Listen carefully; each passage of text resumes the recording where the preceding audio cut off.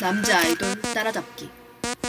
일단 남자 아이돌을 따라잡으려면 사람이 호락호락하면 안 돼요. 호락호락하면 안 되고 항상 화가 나 있어야 돼요. 그래서 중노와 극대노 사이를 오가야 되는데 뭐 중노는 예를 들면은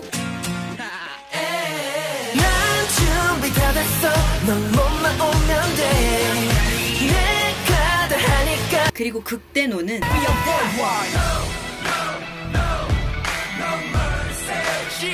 그런데 항상 이렇게 화만 나 있는 게 아니라 신날 때도 있어요. 근데 신날 때는 신난다고 막 이렇게만 신나면 안 되고 얼굴 한쪽만 신나야 돼요. 자, 얼굴 양쪽이 이렇게 신나면 안 되고 얼굴 한쪽만.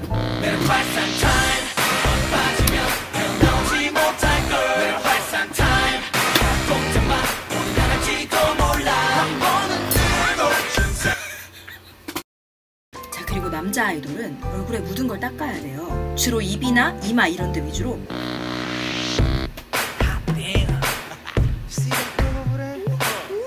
that's my style. Let me go holla. That's yo. I, I like the way you walk. I, I like the way you talk.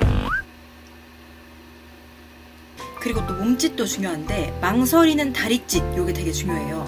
그래서 그냥 걸으면 안 되고 이런 느낌으로 걸어가야 돼요.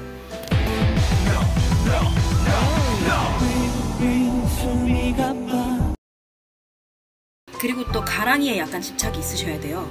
그래서 같은 동작을 해도